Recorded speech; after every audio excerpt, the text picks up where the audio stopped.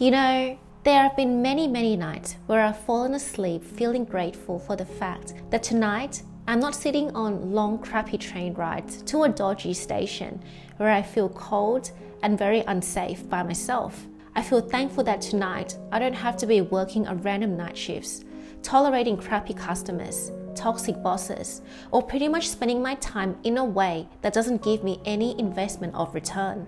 I'm feeling thankful that tonight, even on the rainiest and stormiest day, there is a roof over my head, and I don't have to be stranded in the wind outside somewhere, feeling like life is so unfair to me even though I used to take so many things for granted. But there came a day where I was on my way to my friend's home and I was walking past the train station during rush hours, seeing people so busy, working tirelessly, having to be there until their shift ends, while I myself was just only walking past. And I was on my way to spend quality time in a beautiful, gigantic home located in the wealthiest part of Sydney where in the evenings I saw the sunset by the harbour view in the companionship of a very kind hearted friend. That's when it started to click to me how wealthy I really am, despite the fact that not every single thing in my life is turning out the way that I wanted to today. And I'm sure that many of you experience the same thing, where your bank account may not be ideal, or your job situation may not be ideal, but some part of your life is just miraculously privileged without a reason. Yet we all still spend so much time dwelling on useless things like, where is he? Why hasn't he texted me back? Does he love me? Is his friend jealous of me? Do I belong in this group? Do I look good enough amongst this group? If these very same people would just look at the exact things they already have, all these pointless thoughts that don't add any value to your life would instantly vanish, and you will have so much more quality time to spend in a way that gives meaning to your life. It took me two years for my life to completely fall apart, but now I'm at a place where I finally realize what true wealth means. And even though I'm still learning on the journey, but I'm very proud to be sharing this with you guys. So let's get started. 1. You can't take your Chanel bag to the grave with you. So stop lowering your worth for it. So many times we diminish our own powers to look great in front of other people without even acknowledging that our inherent self is worthy as it is. For example, as a young kid, I learned that in order for my mom to fit in with her group of friends, it was almost this subliminal message that you needed to have a first hand Mercedes to drive in order for you to belong in this group and for people to not outcast you or look down on you. And so every single time she went to socialize with these friends, she always had to drive the first hand Mercedes. And not only that, if you guys are going out to socialize, then it's also a prerequisite that you have a Chanel handbag or some sort of luxury item to define who you are. When in reality, just because you carry these designer bags or drive the luxury car, it doesn't mean that anybody is truly genuine towards you. But luckily, in that society, she did find her genuine friends who loved her exactly the way she was, and not because she was carrying luxury items or drove a fancy car. But the thing that makes us feel so powerless is that the minute that we only have a $20 Kmart bag to carry, the minute that we lose access to these luxury items, we start to see ourselves really, really poorly. We start to feel worthless, defeated, and not good enough just because we don't own certain items that define people's status level. Now, honestly, I'm also a fan of luxury items, and I would always prefer to carry a high quality designer bag versus just a cheap everyday bag. But the thing is, till this day, for two years now, I have a $20 Kmart bag that I carry everywhere, and it feels comfortable on my shoulder. And no matter how much the bag costs, I take care of how I look and how I show up in the world, so I myself already feel expensive with or without any expensive items. Yet so many of us spend money in order to find external solutions to make ourselves feel expensive when all of this is an internal game. How you talk to yourself, how you show up, how you are able to value your own worth and don't associate yourself with toxic environment is what makes you truly expensive. So what this experience also taught me is the value of walking away from any environments that don't make you feel expensive. Whether whether it's people that use you for your free labor, people that don't truly value your skill set, people that don't truly value your presence and how much your time is worth. If you're able to nail this part alone, then no luxury items or fancy cars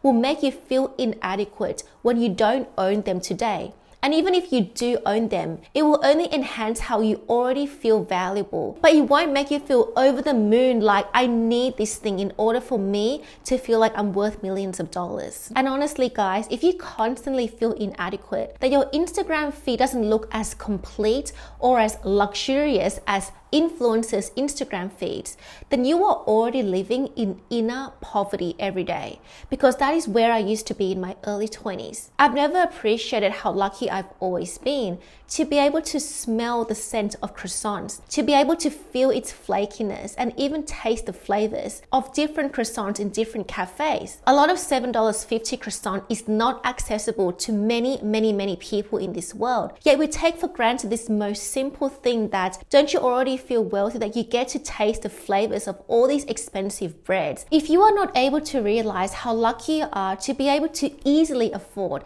a $7.50 croissant and enjoy the flavors of it, then that is what inner poverty truly feels like. It feels like never having enough, never being enough, because you are choosing that you are below a Chanel handbag, that you are below a Mercedes, or you even have to purchase a second-hand version because you don't acknowledge that I am enough if I don't have these things today. It doesn't mean I don't aspire to have it, but when I don't have it, I still feel complete as I am. Which leads to the second part, and that is enough is way richer than excessive. I want you guys to imagine going to a restaurant and you are in the process of losing weight or shedding. So you are taken to this awesome fine dining restaurant and let's just say they offer you a 12 course meal. But because you are in the process of shedding and losing weight, your stomach only feels comfortable with 8 course meal on a maximum basis. The problem is you feel this scarcity mindset that if I don't finish the whole 12 course, then I'm wasting money. So during the first two course, you feel excited. The appetizers, the entrees, oh, they really excite me. When you get to the main course, you start to feel like, oh yeah, it looks kind of good, but not really worth the price of $40 per plate, but it's still pretty awesome. And then you start to keep progressing and progressing along. And by the eighth course, you're starting to feel like, you know what? My stomach feels comfortable. I am full now. I can stop. But then when you start to get to the ninth and 10th course, your stomach starts to feel like, I can't really savor that flavor of the dessert. I can't fully savor the salty flavor because I'm starting to feel really full. And by the 11th and 12th course, probably the extra dessert, now you are truly feeling like I am uncomfortable. This tastes good, but that doesn't make me feel good. I don't feel rich anymore. I'm starting to feel bloated. I'm feeling stuffed up. I'm feeling suffocated. That is what aiming for excessive wealth feels like. There is a euphoric high of this concept of excessive wealth where you are filthy rich, where there's way more than enough for you. But I guarantee that it doesn't feel any different than you overindulging in a 12 course meal when you yourself can only fit an 8 course meal maximum. Now, as somebody who's pretty ambitious herself,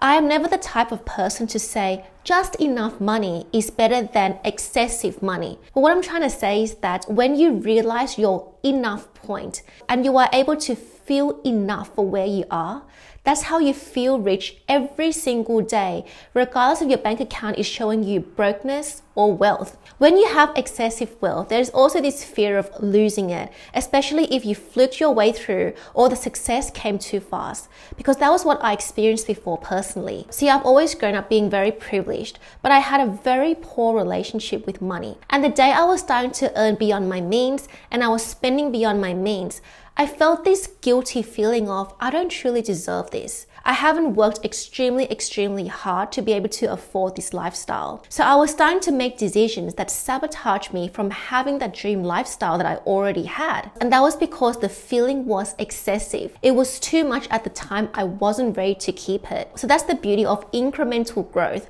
and knowing what you can handle, taking what's enough for you, and feeling appreciative of what you have. That is what wealth truly feels like. When you are able to accept your current progress and find one or two things about what you have today as being so perfect. For example, I realized that there are no expensive creams in this world that I would prefer over having a clear and glowing skin where I'm not wearing foundation. I don't want to be owning $500 worth of foundation when my actual skin without it is full of pimples because I'm using too much product and I'm irritating my skin. So do you understand that working on your basic canvas is so much more better than only topping up with accessories? It's kind of like having this blank, beautiful canvas where no matter what you draw on it, it looks beautiful because the canvas on its own is strong. So that's why if you feel like my job underpays me, my salary sucks, my life condition sucks, everything sucks, which I feel all the time up to this day, honestly, then at least try to find one or two good things that is perfect in your life right now. Whether it's your skin condition, whether it's your body figure, whether it's the relationship with the guy that you love, whether it's your friendship, your family, anything that is already perfect right now. And I want you to really appreciate and appreciate the value of it because the act of appreciating the one or two things that are perfect will then create a snowballing effect in all the other areas of your life that you feel inadequate towards. So, yes, of course, if you still have Instagram and your account is flooded with influencers who are flexing material items, you are going to feel poor. Or if you're choosing to hang out with people where the prerequisite to be in this group is to drive a first hand Mercedes and have a designer item, or the prerequisite is that you need to have a hundred grand Instagram followers to fit in, of course you're to feel inadequate. So even though aspiring to have those things is a great thing, but the most important part of it is that you grow along that journey. You grow on the journey of you building a hundred grand Instagram followers. You are growing on the journey of earning money to then afford that designer bag, but without squandering your wealth for it, without sacrificing your mental well-being or your self-esteem just to carry a designer item, but by growing yourself, elevating your mindset, elevating your skill set to that having that designer goal is a top up to the already amazing canvas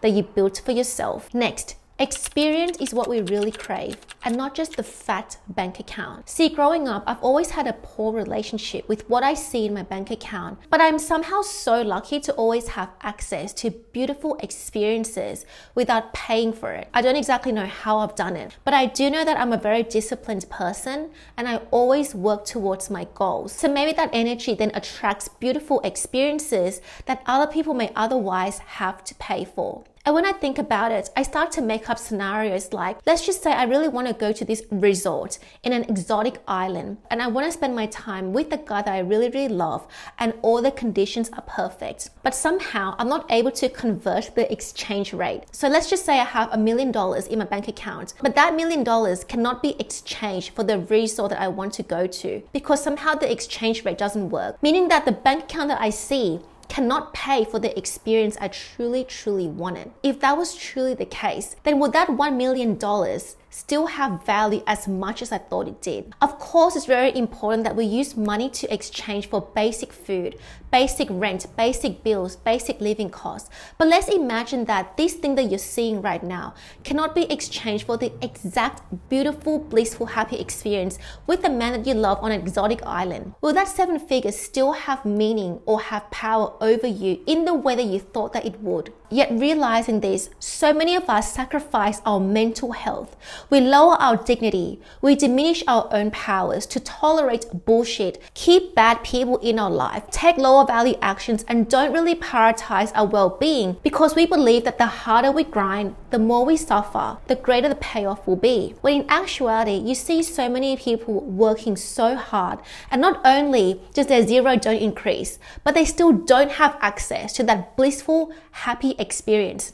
And why is that? Because the energy of scarcity, over hustling, overworking, overdoing doesn't translate into the beautiful, peaceful, and harmonious experience that you truly, truly want. But this also works the same with laziness and stagnation. You can't just see yourself as being lazy, stagnant, and not doing anything and expect yourself to have the experience of bliss, success, and happiness. What I'm trying to say is that wealth is an internal game and you have to align yourself, your belief systems, your actions, and your decisions to match the exact reality that you want. What I'm also trying to say is that just because you see seven seven zeros in your bank account, there is no guarantee that you can exchange the seven figures for a very peaceful, stable, healthy, meaningful life. If you don't make the right decisions with your money, that seven zero that you see could be spent on the wrong people, the wrong experiences, the wrong places, squandering your money on overhead costs with your business, feeling like I don't have enough in my business, so I have to invest in more equipment that I don't need, squandering your wealth on all the wrong relationships from people that want to leech off your wealth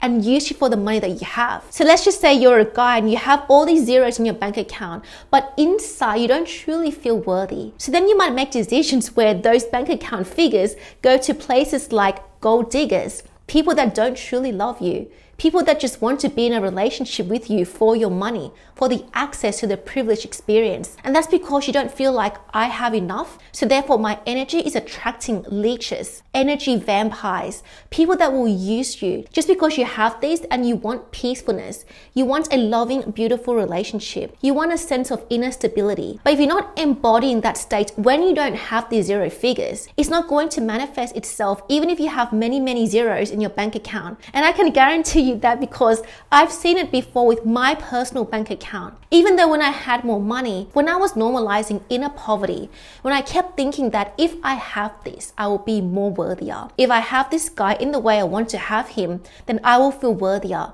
And in the end, I lost everything because I felt inner poverty. I couldn't feel enough with where I am. So every single time you're thinking that these zeros are going to pay for the true love, the true genuine connection, the true genuine lifelong friendships, the fulfilling experience, if you think that these seven zeros can pay for all those things, which yes, it can pay for convenience, luxury, and fleeting happiness. But I can guarantee you that you can't really pay your way to have a real genuine connection. Those things are built from within, a true bond not by paying somebody to please be genuine with me. Please love me and I'll pay you too. Not pretend to love me, but actually, actually love me. So, yes, money does buy happiness, but money kind of buys fleeting happiness external happiness. Whereas the internal happiness is that if you don't have access to this thing, you can still somehow access that feeling state. And that energy will then manifest itself into free gifts, free experiences, encountering with a good man, having beautiful experiences with a great man without having to pay that much for it. Because he's the one that's taking care of me, paying for the meal, and I contribute towards dessert, if you know what I mean. This is something that if you have the wealthy energy, it will manifest itself in your experience. Even if your bank account says, I have zero dollars, but somebody else will somehow still make you feel worthy if you feel worthy from within. Next, let's not be hypocrite to ourselves. Now, during my mid 20s, I've come across so many people who have this amazing personal brand. They created this fake image that they embody in order to charge people for their service, but their life outside of their personal brand is completely different. They make people pay a shit ton of money for their service, but in reality, they cannot embody what they teach to other people themselves. And I find that to be so ridiculous. Of course, yes, we are still all humans and we have basic desires. We want to chase fleeting happiness. We are all still full of egos ourselves. But the question is can you contain that ego? Are you able to be the exact same when you are not on camera as you are when you are on camera? If you are being a hypocrite to yourself, then you are still living in inner poverty. When you don't have other people boosting your validation because you can't find a sense of enoughness with such privilege that you already have. And of course, everyone can say, well, I have this life problem. I'm actually in debt. I'm actually not rich. Every money that I make goes to my debt, whatever. But still, if you are teaching other people how to be content, how to be a leader, how to be a better person, then at least you should try to embody what you teach in your own personal life. When other people are not seeing you off camera, you should also try your best to be that person. Because when you are that person, that's where the true wealth lies. When you are able to get out of your comfort zone and really embody the boring practices that get gets you the true success that you want. For example, I don't always eat healthy, and in fact, majority of my meal is not healthy, but I have very strong portion control. So for me to be a hypocrite and tell you that all you guys should eat is plant-based or vegetables when I myself don't eat plant-based, but I'm still pretty healthy, then that's a hypocritical thing of me to do. So the main point of this is that I see many people easily having access to the luxuries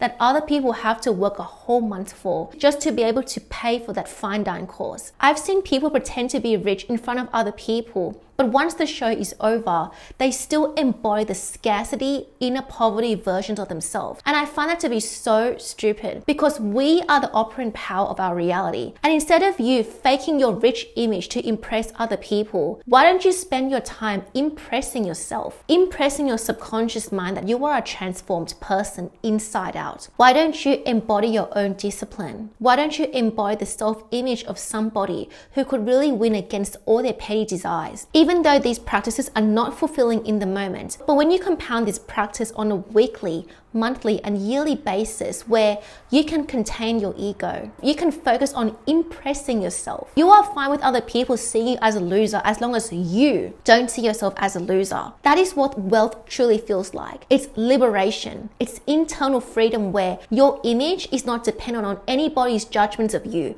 but of your own judgment towards yourself. And that's how money flows to you. I know of people who spend tens and thousands of dollars just to upgrade their business or spend money money on cars or spend money on a new suit. And I personally know one individual who always rocks up in a fancy tailored suit. And at the time I met him, he was never happy. And I completely understand that corporate politics, family conditions, all these external environments can make you feel crap about yourself. But then it's all up to you how you are going to interpret your life adversity. It's up to you to feel content and appreciate the tailored suit that you already have. The 200 grand salary that you already have that other people have to work so, so hard for, even though you are not more skilled than them. But you just have more access to better environments and opportunities than them to be in that position. That's why, guys, I'm a very big fan of you being who you are when you are by yourself and being that same person when you're seeing other people. Because if you are able to just be one person, the true, authentic core self that you are with yourself to other people, then your life is just amazing.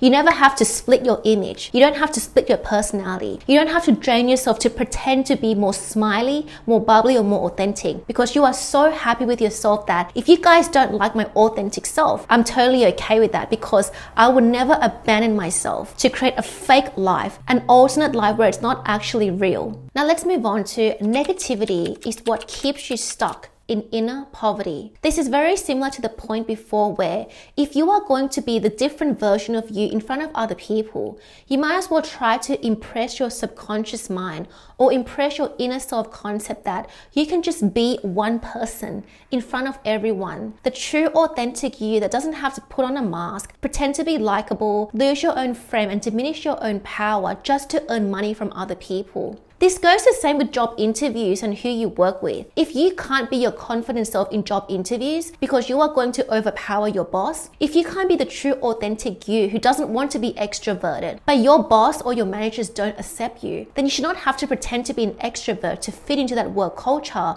in order for you to earn a yearly salary, right? And this all comes from the inner game where you work on your own energy. You come back to your own frame to the point where you are constantly attracting people that accept accept you exactly for where you are. But this all comes down with how you talk to yourself on a day to day basis. Negativity is that actual thing where it cripples you little by little per day. In the short term basis, you don't see how little bits of negative news, negative conversations, negative encountering with toxic people can truly affect you. But in the long run, it is the very reason why you don't get the salary raise. It is the very reason why your business doesn't take off. It is the very reason why you don't elevate your income income, your life potential, or meet better partners. These strings of negative inner conversations where you are constantly listening to the news of people murdering other people. You are consuming all these news that are not relevant to your day to day life.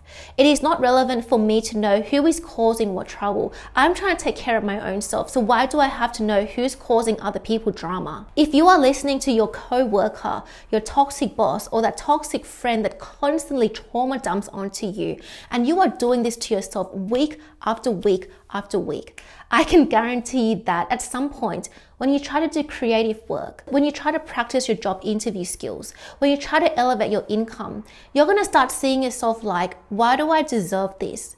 When my patterns don't reflect me being the best version of myself? Why do I deserve this promotion when I'm spending my time in a very loose way? I'm allowing so much negativity to enter my field and I don't feel in control of that. So why do I deserve to be the leader of that industry? Why do I deserve to teach other people how to be positive when I am not positive? When I'm in my own presence. So, do you see why a lot of people, including my past self, we work so damn hard? We spend so many hours working, but we don't earn more money because subconsciously we know what actions we took every single day. We know that we are allowing negative people to enter our space. So, therefore, we start to experience idea blockages. We start to procrastinate. We make the wrong decisions on how to spend our weekends. We start to go and crave alcohol. We start to crave social socializing, casual sex, and all these things. So if we are making day to day decisions that are only congruent to our 5 out of 10 self, we're not going to feel that elevated feeling where, you know what, I feel confident to ask for a raise. But not only that, I feel confident to leave this place if I don't get a raise. I feel confident to walk away immediately from any place